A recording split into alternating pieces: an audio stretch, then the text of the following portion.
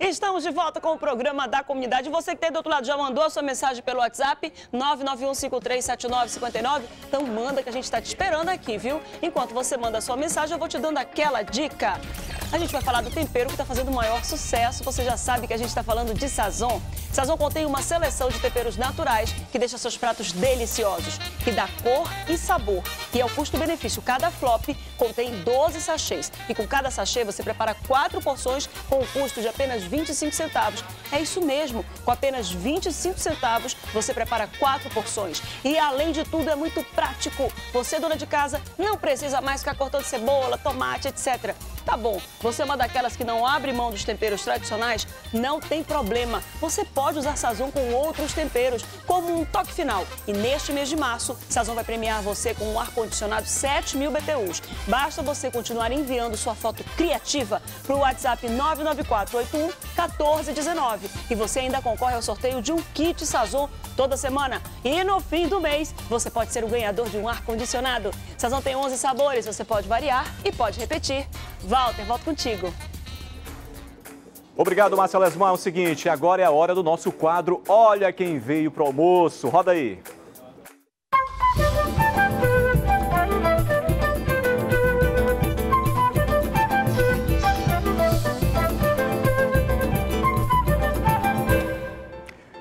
Olha aí que, be que beleza, né? Você daí de casa pode participar junto comigo, então com a Márcia também, nesse quadro. Olha quem veio para o almoço. Basta mandar para a gente a sua, a sua história, né? A gente vai ver as melhores histórias para a gente contar, acompanhar. Vai lá na sua casa, conversar um pouco, mostrar o seu dia a dia, a sua maneira simples de, de ter a sua criatividade. Pode ser um almoço também. E agora nós vamos conhecer uma figuraça. Eu fui lá no bairro do Corocorô, zona leste de Manaus, né? O famoso Corocorô, o Coroado. E lá eu conheci o Moisés. Eu acho que ele tá, agora está assistindo, né, Moisés? Moisés, Dona Cecília, Marcela, todos lá da casa dele. E é uma pessoa bem legal, bem bacana que nós achamos, nós descobrimos através de algumas informações. É por isso que eu peço que você entre em contato com a gente através do nosso, do nosso WhatsApp, mande a sua, as informações precisas, né, a, a, todas as informações para que a gente possa ir na sua casa. Vamos ver como é que ficou essa matéria, que eu acho que ficou bem, bem bacana de assistir. Vamos lá, vamos conferir aí. Bom, nós estamos chegando agora aqui no bairro do Coroado, zona leste de Manaus, para conhecer uma figuraça que é o Moisés, o famoso Dindim da Mamãe.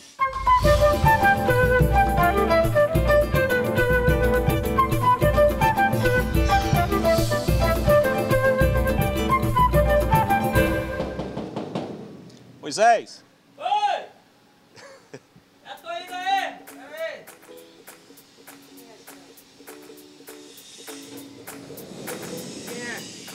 Rapaz! Fala, mano, tudo bem? Tudo certo? Tranquilo, graças a Deus. Eu quero saber se eu cheguei no lugar certo. É o Moisés Dindim da mamãe? O melhor dindim de Manaus, não tenha nem dúvida. É o dindim da minha mãe, que a minha mãe faz há 38 anos com muito amor e carinho. Tem maracujá, buriti, goiaba e cupuaçu. E os tantos outros que é, chocolate, morango. O nome do dindim da mamãe de amendoim é o Potência do Vovô. Minha nossa senhora, teu avô era potente mesmo. A bronca é alta, hein? Agora é o seguinte, tu me falou que para fazer o dindim tem uns segredinhos aí, né? É amor e carinho. É só isso mesmo? Só isso. Se tiver algum segredo eu vou revelar, hein, cara? Vai ficar difícil que ela não vai deixar, não. Vamos lá, então. Entra aí, Val. Te apresentar aqui a nossa honrosa, tá entendendo? Humilde, mais honrosa fábrica de dindim. Essa daqui, ó, são as minhas colaboradoras. Tô brincando, mas são minhas... é, somos todos colaboradores dela, né? Como é que a senhora aprendeu a fazer o dindim? Eu aprendi com meu ex-marido. Que antes de sair daqui, ele já deixou prontinho para mim, né? Seu ex-marido uhum. veio um dia para passar com vocês. Foi. E não rolou um flashback, não? Não, não, não, não, não. Logo no início, quem é que vendia esse dindim? Aqui na porta de casa, passava, as pessoas vendiam, eu vendia de, de suco. A senhora mesmo vendia, é, fazia o din-din e vendia aí na frente? Qualquer pessoa vendia daqui de casa, era de suco que nós, de suco que nós fazíamos. Não era de polpa? Não, não era de polpa, agora é de polpa. Polpa natural? Natural. E esse din-din, ele, a senhora vende por quanto? Dois reais. Se alguém na rua falar assim, olha, dona Cecília, din-dinzeira, você fica com raiva? Não. Porque eu não fico, é, é um trabalho que é honrado, né? Como sempre eu digo para ele, eu deixei de ser professora, passei de dizeira. Esse trabalho é um trabalho digno, né, que sustenta a sua família. Mas no caso do Moisés, é um trabalho muito especial, porque a senhora lutou muito por ele, né, dona? Muito, muito mesmo. Um dia tirou aí o, a, o din da frese, colocou no isopor e foi vender. Como é que ele fala? Como é que é a cantiga Olha dele? Olha o din da mamãe, como é que tu aí? Olha o din da mamãe, feito com amor e carinho. E é realmente feito com amor e carinho? É, mais do que isso.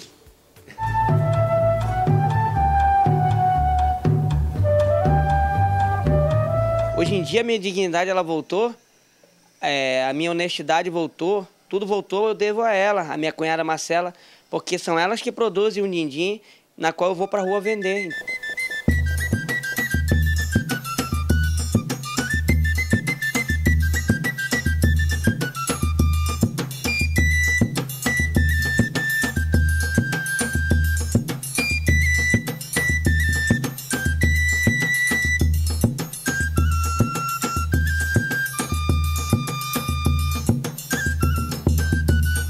Hoje eu comprei essa caixa aqui, ó, para desafiar o meu, o meu amigo Walter. Vai levar um peso menor que o meu. Vamos pra rua e ele vai ver como é que é o clima da galera aí no bairro do Coroado, comprando o dinheiro da mamãe. Café da manhã aí. Uhum. É sábado. Cafézinho aí. Da, da mamãe? Da mamãe. Café da mamãe também. Eu tô pronto. Tá pronto? Tô pronto, vamos lá. Vamos lá, vamos pra rua agora vender o din-din da mamãe que foi feito aí com todo amor e carinho. Isso aí, vamos lá.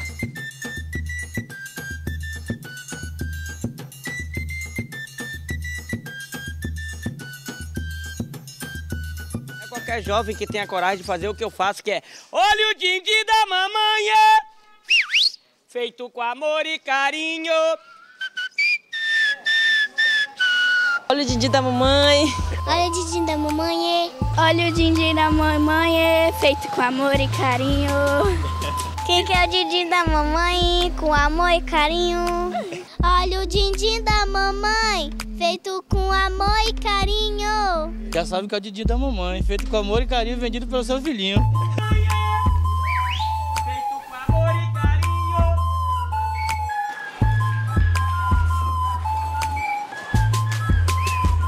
Bom, já que o Moisés me ensinou a vender o din-din, acompanhei todo o processo, agora eu vou fazer minha primeira venda.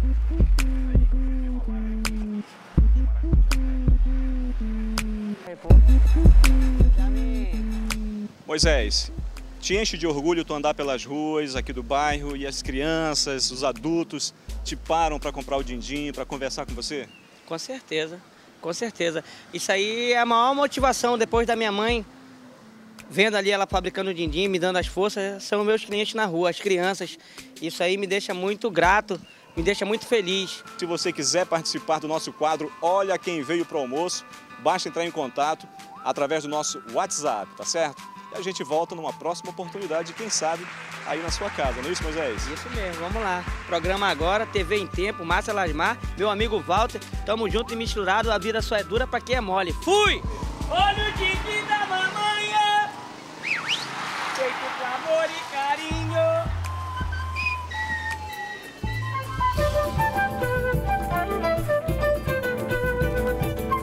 Espera um pouco, a pergunta que não quer calar. Quantos dindins você vendeu?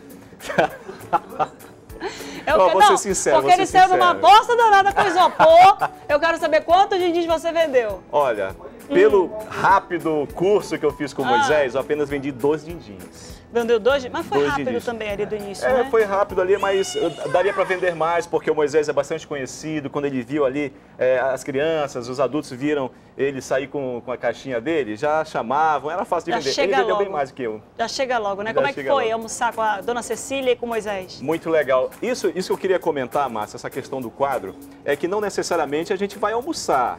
Olha, no caso do Moisés, a gente apenas lanchou, né? Que é o que ele faz é, diariamente. Ele lancha né, na hora do almoço, 11 horas que é o horário que ele sai para vender o, o din-din. Aí ele faz um lanche e vai trabalhar. Como ele, ele bem diz, que ele apenas ele almoça e janta ao mesmo tempo, que é o horário que ele volta do trabalho, é o horário que ele janta, que ele almoça e janta, né? Mas antes dessa da venda, da, de sair para venda, ele apenas faz o lanche. Eu quis participar junto com ele da rotina dele, que isso que era o barato, Márcio. E que horas ele volta? Ele sai para vender 11 horas, meio-dia, que é a hora que ele, que ele faz o brunch dele, que é o brunch, é uma mistura de breakfast com lunch, né? E aí depois ele volta que horas para casa? Ele volta às 18 horas, 18, 19 ele está Seis horas na rua, né? Seis horas trabalhando, sol quente, chuva, ele tem que vender, né? Que é o é o, que, é o produto que sustenta, que sustenta, exatamente. Show de bola! Adorei o Olha Quem Vem para Almoço hoje. Moisés, todo mundo junto e misturado, viu, Moisés? Um beijo para dona Cecília e você aí de casa fica esperando, porque semana que vem tem mais Olha Quem Vem para o Almoço. São 12 horas e 4 minutinhos. Você que está aí do outro lado acompanhando o programa da comunidade, fica esperto, que a gente vai trazer informações para você. Olha só, mudando de assunto aqui, tá? a gente vai falar agora da Semana Santa, hoje é sexta-feira, todo mundo está em casa, feriado. E ontem centenas de fiéis participaram da celebração da missa, da ceia e de lava-pés na Catedral Metropolitana de Manaus. E é o que a gente vai conferir agora na tela.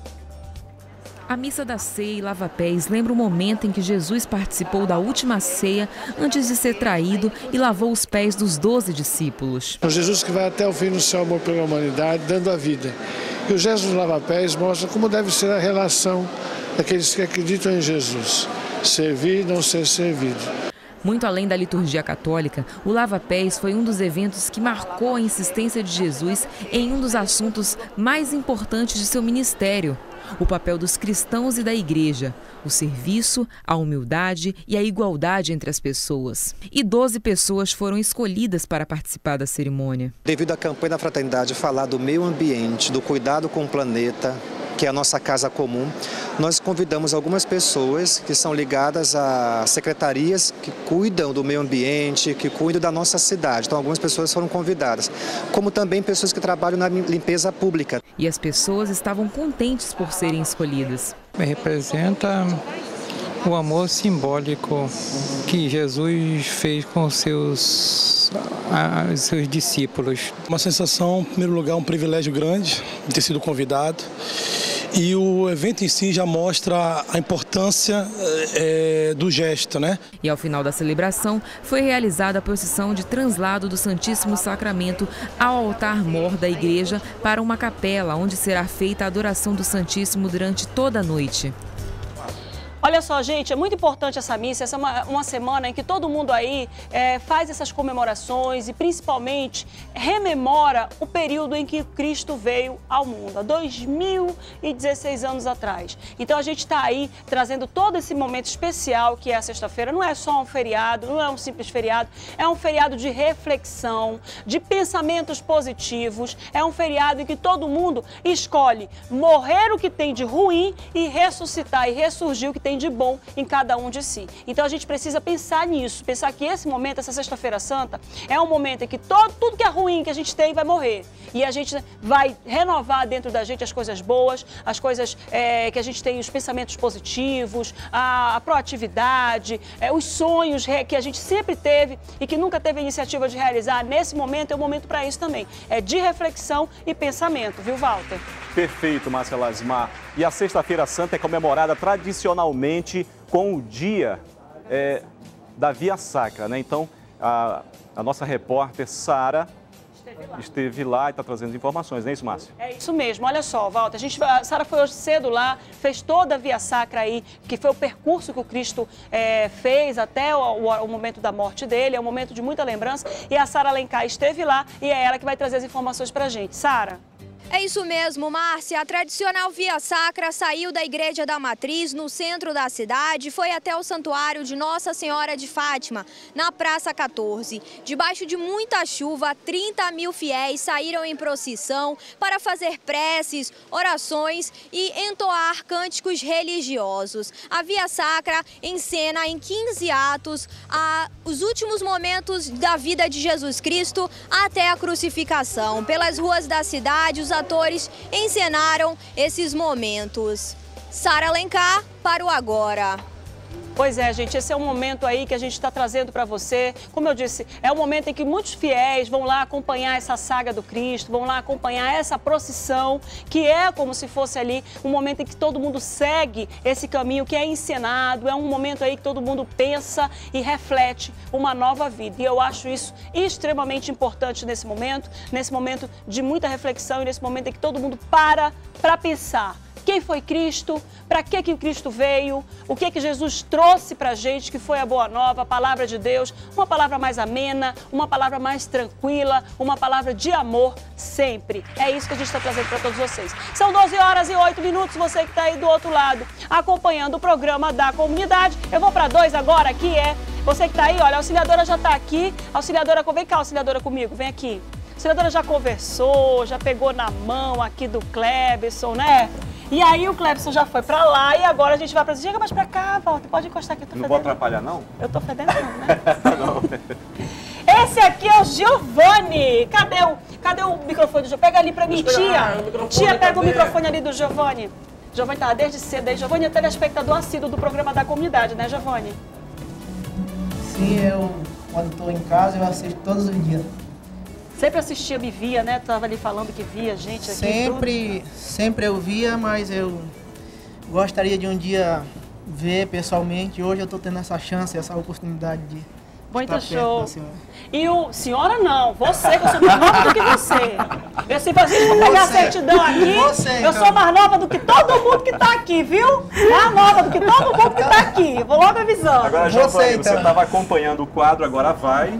Você estava me falando da agora ali que gostou, né? Por isso que entrou em contato. Fala pra gente, explica melhor aí. Sim, eu sempre é, é, é, observo as pessoas que praticam academia e, e eu vi ela praticando a academia e isso que me chamou mais a atenção. Que ela se cuida, né? Ela é cuidadosa. Acho que toda mulher deve se cuidar. O, A tia Talcó conversou com eles ali nos bastidores. O que, que você Sim, acha? eu ali? conversei, assim, não dá pra saber ainda, né? Ah, mas eu só mesmo ela pra dizer, né, minha filha? Já, Já sabe, tem já, já tem alguma assim? ideia assim, mano? Já. Já, não fala ó. nada, deixa pra lá. Eu não quero Olha, saber agora, meu Nesse Deus. momento, não. Sabe por quê? Porque alguém vai ficar, vai pra casa sem ela. Eu fico arrasada. Mas aí com pode ir isso. comigo, tá? Quem fica boiado, ou leva pra casa, tá? Ou Já se escala. eu levo os dois e tombo ela. Mentira, não vou tombar ela, gente, Não, jamais. toma não, não, deixa Mas ela. aí... Só um tapete, né? É. Então leva os dois pro sofá, então. Vai, vai, Vamos vai, lá, Gustavo. gente, vamos sentar, vamos Vai lá, conversar. vai lá, Giovanni. Giovanni. Obrigada, Giovanni. Isso. E você que tá aí do outro lado, vem cá. E você que tá aí do outro lado, fica aqui, Gustavo, olha só. É aqui que ele fica? É, deixa ele aqui. Aqui. É porque eu quero ficar mexendo no negócio, é uma coisa horrorosa. E a gente vai aqui pro WhatsApp, que o Gustavo vai ficar aqui comigo vendo as fotos do WhatsApp. Pode comentar também, tá? Tá, bora, bora. Olha aí, olha aí. E também tem música. Hum. Olha aí, ó. Foto do WhatsApp. Pessoal aí, ó, fazendo selfie. Esse cabelo punk. Olha, mana, né? Todo mundo montado assistindo a Olha. gente. E é nessas fotos. E olha isso! Do Snapchat. E com essas fotos tem música. A gente volta já já.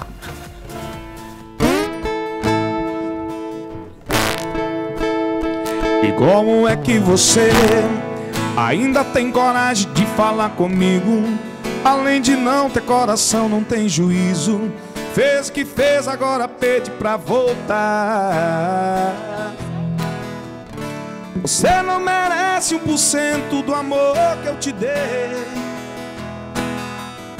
Jogou nossa história num poço sem fundo.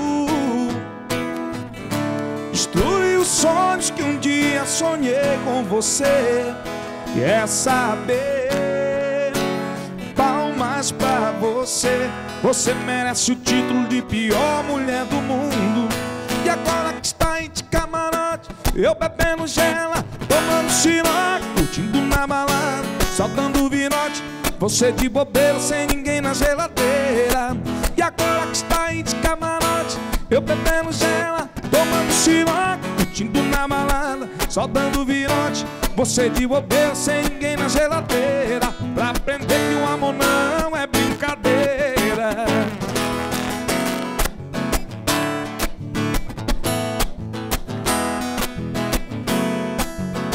E como é que você ainda tem coragem de falar comigo. Além de não ter coração, não tem juízo. Fez que fez, agora pede pra voltar.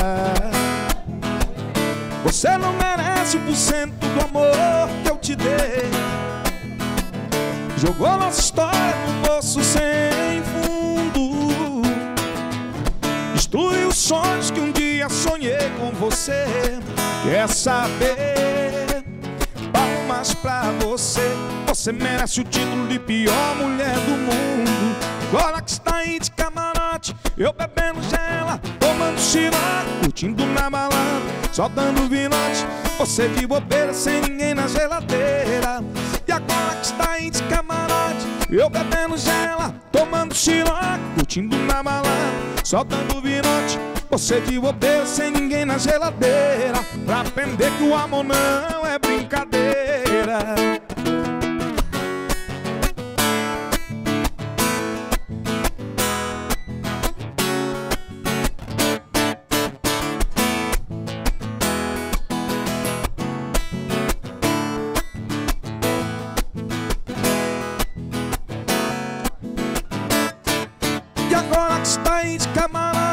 Eu bebendo gela, tomando xiraca Curtindo na balada, só dando virote. Você de bobeira, sem ninguém na geladeira.